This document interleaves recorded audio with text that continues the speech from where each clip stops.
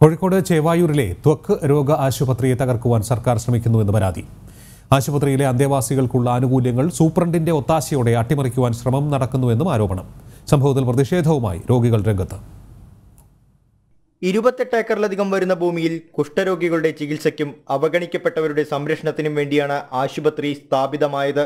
നിലവിൽ എഴുപതോളം അന്തേവാസികളുള്ള ആശുപത്രിയെ കഴിഞ്ഞ ഉമ്മൻചാണ്ടി സർക്കാരിന്റെ കാലത്താണ് ത്വക്കുരോഗ ചികിത്സാ കേന്ദ്രമാക്കി മാറ്റിയത്. എന്നാൽ ഇടതു സർക്കാർ അധികാരത്തിൽ വന്നതോടെ അന്തേവാസികളെ ദുരിതത്തിലാക്കുന്ന നടപടിയാണ് കൈക്കൊള്ളുന്നതെന്നാണ് ആരോപണം. സന്നദ്ധ സംഘടനകൾ അന്തേവാസികൾക്ക് നൽകുന്ന സഹായങ്ങൾ ആശുപത്രി സൂപ്രണ്ട് ഇടപെട്ട് അട്ടിമറിച്ചെന്നും അന്തേവാസികൾ പറയുന്നു. ഓരോ ആനുകൂല്യങ്ങളും വെട്ടിക്കുറക്കാണ് ഇവിടെ. ഇപ്പോഴത്തെ ഡോക്ടർ സൂപ്രണ്ടും. ഞങ്ങൾക്ക് രോഗികൾക്ക് കിടക്കാൻ വേണ്ടിയിട്ട് ഒരു ബിൽഡിംഗ് ഇവിടെ എടുക്കണമെന്ന് പറഞ്ഞിട്ട് ഒരു കോടി അത് ഉമ്മൻചാണ്ടി ഗവൺമെന്റിന്റെ കാലത്തുണ്ടായിരുന്നു. പക്ഷേ അന്ന് എടുത്തുമ്പോൾ എടുക്കുന്ന താഴ്ച എടുത്തിട്ടുണ്ട്. ആ സ്ത്രീകൾ ഇവിടെ താമസിക്കുന്നുണ്ട് ആ സ്ത്രീകൾ. അവരോട് പറഞ്ഞതാണ് അത് ഒ പിക്ക് വേണ്ടി എടുക്കുകയാണ് രോഗികൾക്ക് എടുക്കാൻ വേണ്ടിയല്ല.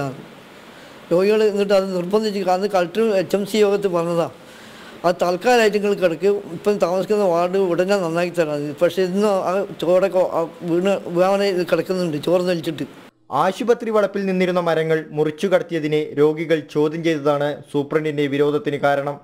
ഈ സൂപ്രണ്ട് വന്നതിന് പ്രശ്നമൊക്കെ ഉണ്ടായിരുന്നു.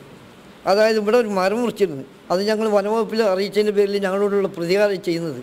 ആശുപത്രി ഭൂമിയിൽ സ്റ്റേഡിയം നിർമ്മിക്കാനുള്ള A Pradeep Kumar M L എയുടെ നീക്കത്തിനെതിരെയും ആശുപത്രിയിലെ അന്തേവാസികൾ നേരത്തെ രംഗത്ത് വന്നിരുന്നു. ജനം കോഴിക്കോട്.